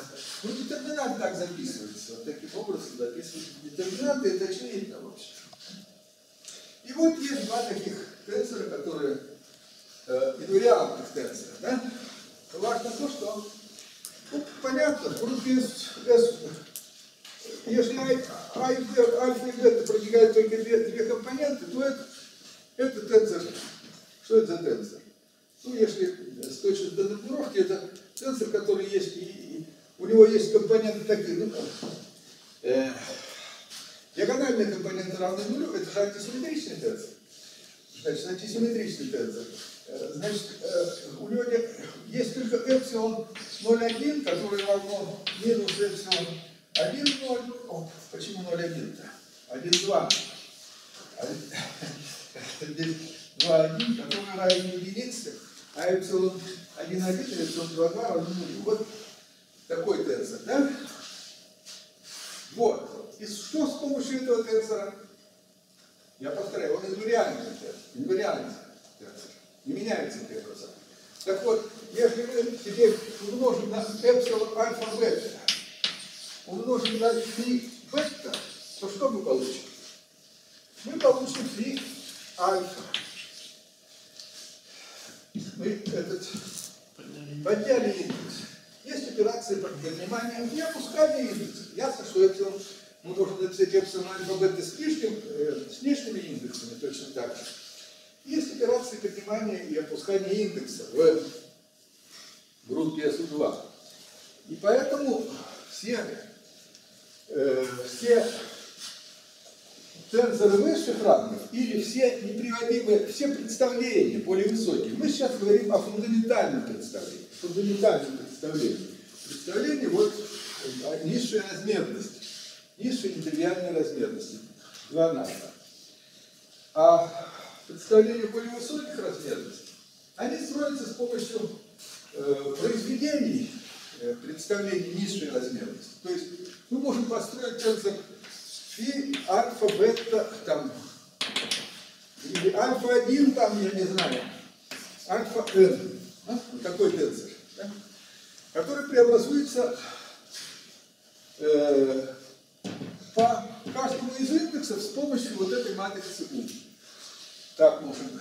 Э, и можем написать э, тензоры с нижними индексами. Но существование вот такого эпсилона э, позволяет избежать рассмотрения тензоров с нижними индексами, рассматривать только верхние, тензоры с верхними индексами, потому что мы можем поднять, поднимать. Э, ну или как это говорится? Потому что сопряженное представление эквивалентно прямом представлении. И это вот благодаря тому, что есть вот такая матрица Тау-2, ну, матрица Тау-2, сами понимаете, это есть, это вот эпсилон, правильно? Потому что, ну или И на Тау-2, это у нас есть эпсилон, правильно? И на Тау-2 это есть эпсилон. Так вот, нет необходимости рассматривать э, сопряженные представления, поскольку они эквивалентны прямому, и рассматривать только такие тензоры, э, которые вот преобразуются по каждому, по каждой из компонентов с помощью матрицы U. Но, э, значит, э, вообще говоря, эти тензоры, они э, будут приводимым, они будут давать приводимое представление. Потому, ну, что значит приводимое представление? То есть можно выделить из этого тензора, это сколько, сколько компонентов? Ну, каждый имеет два, два степенных компонента. Так вот из этих компонентов можно выбрать каким-то образом такие, которые сами через себя преобразуются. Да? Это значит, что у нас есть приводимое представление. Вообще говоря, это представление значит приводимое, а э, как сделать его, выбрать из него неприводимое, это симметризовать по, по, по этим э, индексам, по этим индексам, симметрично. Ну, мы будем только такие рассматривать тензоры, которые симметричны по этим индексам, по всем этим индексам. И они, конечно, преобразуются ну, при, при, при если каждый индекс преобразуется с помощью одной и той же матрицы, то ясно, что симметрия при этом преобразовании не, не теряет. Не теряется. Значит, тензоры симметричные тензоры сами через себя, э, преобразуются, и их нельзя упростить. А почему нельзя упростить? Ну, потому что упрощение, как мы можем проводить, проводить упрощение? Сверткой с, каких, с каким-нибудь из вот этих инвариантных тензоров. Только так можем проводить упрощение. Но ясно, что если тензор симметричный, то, ну, сворачивайте. Я же не что у нас есть, э, э, я же не- м, вот этот вот спинор, э, ну, или спин-тензор, он имеет э, только верхний компонент, то сворачивать можно только с эпсилон, вот с таким, с, таку- с таким эпсилон. А он антисимметричный, поэтому, значит, э, свертка даст ноль. Все. Этим доказывается неприводимость представления, образованного симметричными по всем индексам спин-тензора. Вот такие спин-тензоры только можно и рассматривать, значит. И э, э, каждая э, значит, каждое представление можно характеризовать вот числом n, числом компонент в, э, вот в этом спин-тензоре, симметричном спин-тензоре. А как это число компонент связано? Ну, обычно мы же вообще-то по-другому привыкли характеризовать представление группы вращений. Да, как мы привыкли характеризовать? Как вы привыкли характеризовать представление? А? Не знаете? Ну как же так? Какими квантовыми числами? Как это есть тоже квантовое число? Это число компонентов тоже квантовое число. А? Полный момент. Ну, конечно, полный момент. Конечно. Конечно, полный момент. Конечно, полный момент. Говорите. Говорите, что вот у нас есть, э, ну, мы начинали, начинали в квантовой механике с орбитального момента, да? Элита, да? Ну, потом, конечно, вместо элитова э, стали смотреть S ита, который есть сигма ита пополам, правильно? Да? Ну, коррупционные соотношения-то одни и те же. да? Ну и говорили, что вот, значит, у нас есть оператор L квадрат, который коммутирует со всеми L итами, да, или S квадрат, который коммутирует со всеми, со всеми, э, со всеми, ну, со всеми генераторами. Есть этот оператор, который коммутирует со всеми генераторами групп, называется, как он называется? Оператор Казимира. Ну что ж вы, у вас же была теория групп, что ж вы молчите-то, а? Оператор Казимира. И здесь есть только, в группе СУ2 есть только один оператор Казимира. Это оператор, который говорит c в квадрате. Да? Или оператор, который называется еще c2. Оператор. Который есть пятый раз. Или, я лучше так напишу.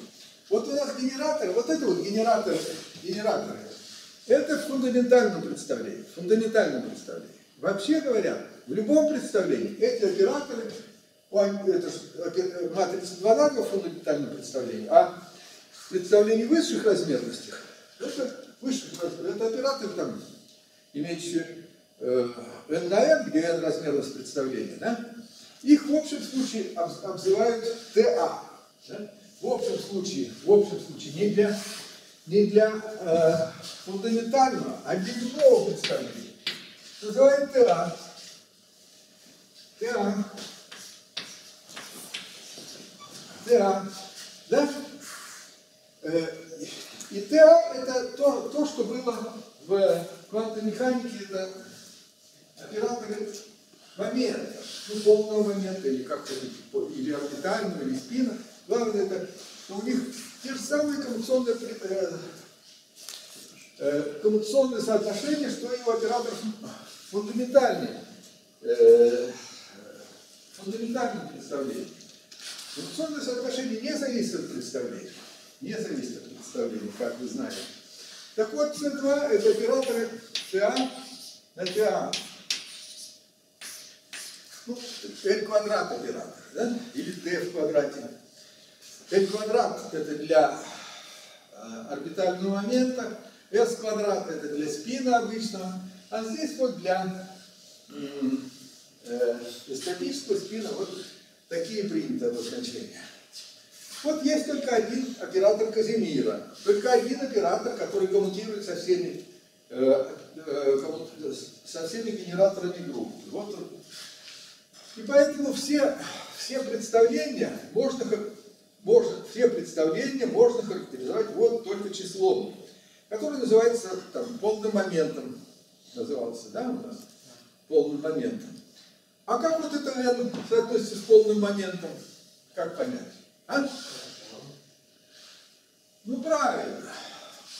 Да, полный момент будет n пополам. Ну как это видно? По числу, э, по числу компонент это видно. да? Или можно, можно увидеть по, скажем, по, э, если возьмем здесь, как возьмем, как взять здесь эм, максимальную проекцию, как обра- образовать состояние с максимальной проекцией? Ну, нужно взять все альфа равные одной второй, да? Все альфа равны единице. Это будет у нас, значит, состояние, состоящее из одних укварков. Да? И ясно, что статический спин, э, проекция статического спина будет э, ну, у кварков отдельного проекция из спина равна 1 второй, а значит будет n пополам будет, да? Ну это и есть t, да? T равно пополам, да? Собственное значение вот этого оператора, собственное значение этого оператора, это есть t на t плюс 1, да? где t это целые или полуцелые числа, а n, n равно t пополам. Вернее, t равно n пополам, пардон. t равно n пополам. t равно n пополам, да. Ну ладно, это мы про группу СУ2. В общем-то, все это вы более-менее знаете. Я это все рассказываю только для, для перехода к группе СУ3. Правда, что я должен здесь еще сделать в группе СУ2? Что же я должен сделать в группе СУ2? Еще. В группе про изоспин, когда говорить. Э, Надо, что нужно еще сказать. Нужно еще ввести понятие жечетности. Важное понятие. Жечетность. Важное понятие. Э, Ну, вы знаете, сочетность, знаете, да? Сочетность. Это важное, важное понятие э, для того, чтобы как-то сразу судить о том, возможен процесс или невозможен. Ну, например, вот ввели понятие сочетности, да, сочетности. А- Оказалось, что сочетность у фотона равна чему? Минус единицы. Значит, мы сразу можем сказать, что э, один фотон не может перейти в два фотона. да? Не может не перейти в два фотона, потому что сочетность сохраняется. Да? Диаграмму мы можем нарисовать, да? Один в два для фотона, да? Диаграмму перехода один в два. Можем нарисовать? Но можем нарисовать и можем даже считать их. Но это будет глупым занятием. Почему? Потому что э, в сумме они должны сокращаться. Каждая диаграмма есть, а в сумме диаграмма, ну вот скажем, диаграмма перехода одного фотона, вот есть вот такая диаграмма, правильно? Да.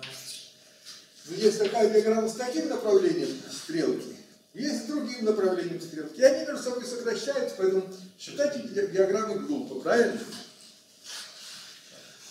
То есть это очень полезное понятие, понятие цечетности. А вот в него обобщение на, на случай э, частиц не нейтральных, не обязательно нейтральных. Ну, цечетность, понятие цечетности, э, оно м, только для нейтральных частиц существует, правильно? Нам- нужно, чтобы частица пришла э, при зарядном сопряжении сама в себя. То есть у нее все заряды должны быть равны нулю. да? А вот есть у него обобщение, полезное обобщение, которое можно использовать не только для нейтральных частиц, а и для э, заряженных частиц. Правда, заряженных частиц с, нулевым барионным зарядом, с нулевым барионным зарядом, то есть для мезонов можно использовать, э, э, ввести понятие жечетности для мезонов, да, жечетности. И вот сохранение жечетности – это некое объединение так, э, симметрии, истопической симметрии и э, цельновариантности. Вот. Так вот, цечетность. Цечетность. Как же определяется цечетность? Она определяется, вернее, жечетность. А, оператор жечетности. Он определяется следующим образом. Это есть, это есть Ж. Это есть С. Да? Е в степени и И Т2. О, что это такое? Это есть, значит, зарядное сопряжение и поворот вокруг второй оси в изотопическом пространстве. Вот что такое. Вот что такое оператор жечетности. Вот. Т2, А? Т2 это э, полный цикл. Т2 это э, вторая компонента полного изоспина. Да. Вторая компонента полного изоспина. Вот для протона? А, для протона А для протона не, не, не надо. Ну можно ввести этот, этот оператор, то можно ввести для любых частиц, правильно? Но для протона бессмысленно его, потому что он протон переводит, переведет вовсе, вовсе. Наш, когда это понятие полезно? Понятие жечетности. Когда мы можем говорить о частице с определенной жечетностью, то есть это оператор, это оператор частицу саму в себя пере- переведет, правильно? А что если для протона? Ну что, зарядное сопряжение сразу переведет его в антипротон, да? А там поворачивай, не поворачивай, из антипротона мы никуда не уйдем, понимаете? Мы из античастиц не уйдем. То есть этот, этот оператор полезен только для мезонов. Оператор, оператор полезен. Определенную же четность могут иметь только мезоны. Да? Определенную, ну то- точно так же, как определенную С-четность. Определенную С-четность могут иметь только нейтральные частицы, да? То определенную Ж-четность могут, идти- и- и могут иметь только частицы с нулевым барионным зарядом. С нулевым барионным зарядом. да? Вот. Э, И какая же цечетность, вот какую же цечетность несут, имеют эти частицы? Оказывается, ну вот что важно понять, что этот, что этот оператор зачетности, он коммутирует с, с операторами, э, с операторами проекций изоспина. С операторами проекции изоспина. И поэтому, э, если один, одна компонента мультиплета изоспинового да, имеет определенную Ж-четность, да, то и все другие компоненты мультиплета имеют ту же самую Ж-четность. Почему? Ну, потому что другие компоненты могут получены, и, получены из этой, из какой-то фиксированной компоненты, каким, каким образом? Воздействие это Поворот. Действие повышающего или понижающего оператора. Вы, же помните как? Почему операторы называются повышающими и понижающими? Потому что они повышают или понижают проекцию, правильно? Эти, эти повышающие и понижающие операторы, это есть Т плюс минус, который есть Т1 плюс минус и Т2, правильно? Вот. Ну, если же этот оператор коммутирует с любыми теитами, теитами то тогда и, значит, э, э, всех он комму- коммутирует из Т плюс минус, и, значит, э, Т плюс минус не меняют собственное значение G. Если одна из компонент имела собственное значение G, то и э, все другие имеют то же самое собственное значение G. И это собственное значение, а как это определить это собственное значение? Нужно взять нейтральную компоненту с нулевым зарядом. Ну, барионный заряд равен нулю, да?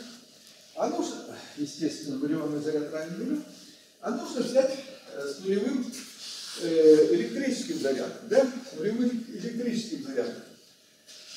Ну, скажем, что у нас есть, э, какие у нас, какие, мы- какие простейшие состояния мезонов вы знаете? А? Правильно, вот P плюс это верхняя компонента мультиплета. P0 это значит э, состояние с проекцией статического спида 0, правильно? Ну, если у него, поскольку заряд правильно, Т3 плюс Б, да, барионный заряд равен нулю, значит заряд просто равен Т3. Это нулевая компонента э, изоспина. И минус, отрицательная компонента изоспина. Так вот, в этой, это вот, э, э, три состояния образуют э, триплет, статический триплет пимизона. Берем вот эту компоненту триплета, эту компоненту триплета. У него есть определенная, поскольку он заряд равен нулю, у него есть определенная C-четность, правильно? C-четность. Теперь, C-четность у него определенная, а какая же у него будет G-четность? Какая у него G-четность? Будет у него определенная э, э? Как это понять? А? Да как же нет? А как, вот, как описать вот этот вот триплет? А? В знакомых вам, вам терминах.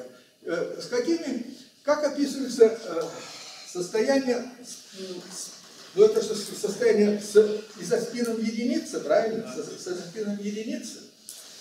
Как его, как вы э, привыкли описывать состояние с э, орбитальным моментом единицы? Как они описываются? Ну, надо сложить вот эти А? рельеф. С орбитальным моментом, состояние с орбитальным моментом единицы, как можно описывать? Их можно описывать, эти состояния, ну, можно по-разному, можно, можно описывать э, эти состояния, это есть, что состояние, можно, конечно, так говорить, что эти состояния можно описывать с помощью с орбитальным моментом единиц. Вы привыкли один, один m описывать. Вот так вы привыкли. Так описывать эти состояния. А можно по-другому сказать. А, а что это за тройка? Вот эта тройка э, э, чисел, как ее можно... Ну, конечно, эта тройка чисел, как вы помните, она пишется таким образом. Э, То есть э, я опускаю коэффициенты, пишу, пишу, говорю, что такое y1, 1, 1? Это есть, что такое x плюс y. Правильно? Плюс y. Что такое э, y1, 0? Это и z. Правильно? А это есть x минус y. Правильно? А можно по-другому сказать. Вместо этих вот чисел вести, то есть это, эти состояния можно ну, в другом базисе переписать просто как вектор. Написать это просто как вектор v, я напишу вектор, вектор v и t, да? Это уже векторный, ну, вместо вот x плюс y я могу, ну вот возьму комбинацию вот эту, x плюс y, эту комбинацию, по- полусумму и полуразность, деленную на и, получу просто вектор, обычный вектор. Да? Обычный вектор. То есть, и это нулевая, вот это вот состояние с, с- с полным, э, э, состояние, нейтральное состояние, это третий компонент этого вектора, правильно? Третий компонент вектора соответствует этому состоянию, нейтральному состоянию, третий компонент вектора. Как третий компонент вектора преобразуется при повороте? Это что такое? Это поворот нового ЛП вокруг ось- э, второй оси, да? Как третий компонент вектора преобразуется при этом? А? Меняет знак, правильно? Правильно, она меняет знак, да. А если у нас... Она меняет знак, да. Э, Значит, а если у нас э, это, но это у нас вектор, это он отвечает за спину единицы, и за спину единицы, да?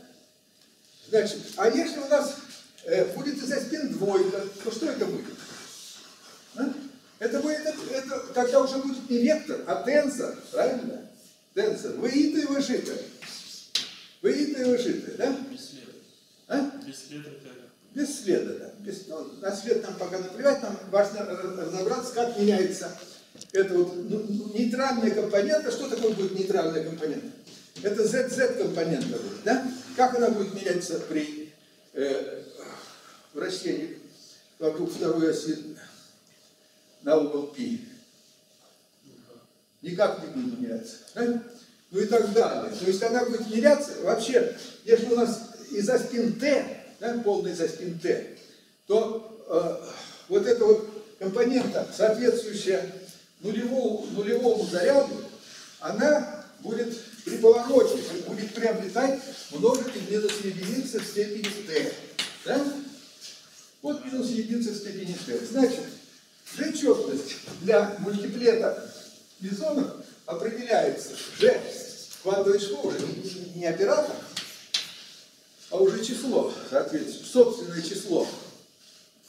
Оно одно и то же для всех, для э, всего мультиплета, и это есть минус единица, это есть C-четность. C-четность нейтральной компоненты, C-четность, мы как определяем C-четность? Мы говорим, берем нейтральную компоненту, смотрим для нее же четность и говорим, а для всех остальных она та, та же самая.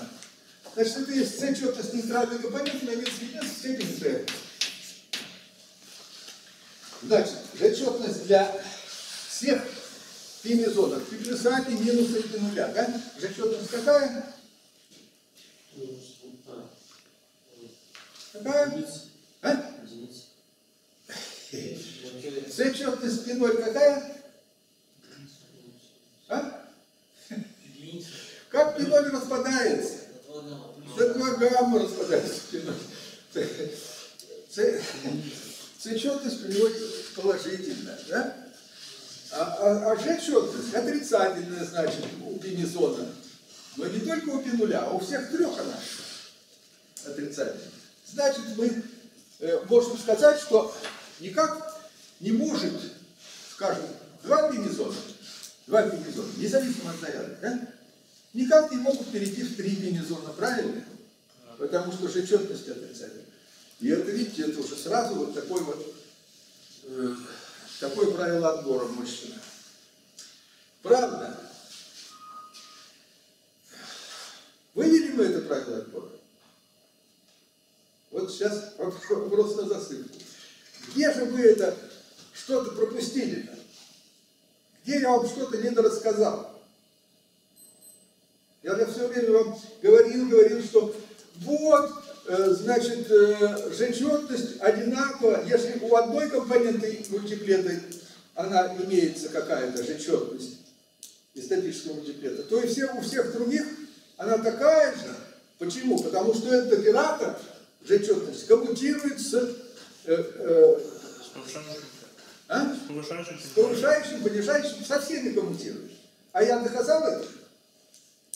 Нет, не доказал я это. Так, ну что ж такое? Ну вот, так вы сами тогда это докажите.